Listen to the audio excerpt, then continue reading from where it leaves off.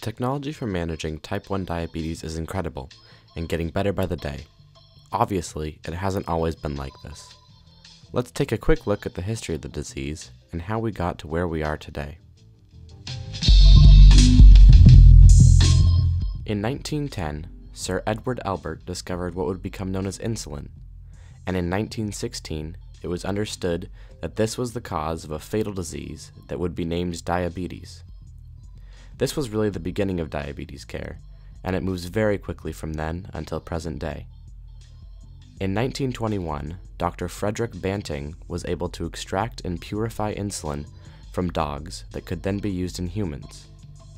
Diabetes was officially no longer considered fatal, and in 1923, insulin was being commercially produced. In 1949, the first insulin syringe was released, making for much easier at home care and in 1964, color coded blood glucose strips were released, making at home blood glucose testing a reality. Soon after, the first blood glucose meter was introduced. In 1982, insulin produced from bacteria is approved by the FDA, making care significantly cheaper.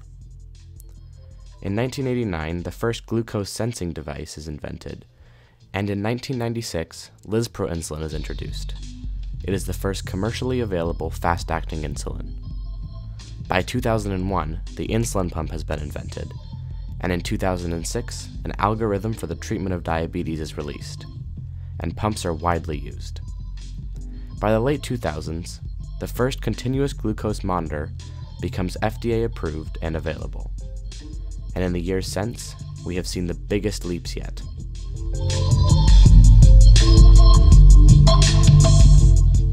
Google said this week that it's testing a smart contact lens that can help people manage diabetes, which affects almost 400 million people across the world. So it's no wonder people took notice when Google announced this lens, which can track your glucose through your tears. There's a tiny chip embedded on the lens that, if it works correctly, could eliminate the inconvenience and the pain involved in diabetes management. But Google's not the only one working on this type of technology. A team from Sweden designed a lens that has a fuel cell that can not only monitor glucose, but actually create small amounts of power. The smart contact is very cool, but not nearly as impactful as some other advances.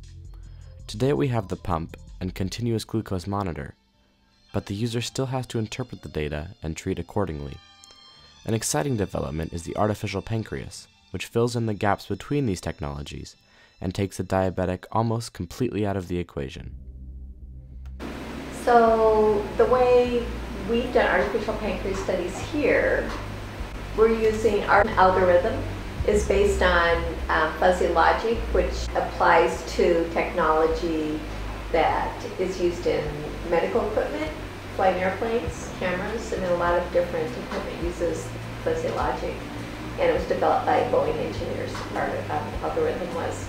As the blood sugar goes up, if the rate is faster, there's more dosing. If it's a slower rate, there's less dosing. And um, so it responds to what your blood sugar change is. Uh, I think for a lot of people with type 1 diabetes that having a computer do this for them will make their diabetes control much better because they're not going to test their blood sugar every every hour and, and dose, right? If you have a pump, you, you have the ability to, but are you going to test your blood sugar or are you going to look at, a, at, at your sensor and do that every hour? Probably not. So I think it would be easier for people to manage their diabetes if they have an artificial pancreas, which includes the pump, the sensor, and um, the computer algorithm that drives the dosing. These are just a few of the technologies that continue to promise an easier life for diabetics. Even if an actual cure is a ways away, technologies like these will be the next best thing.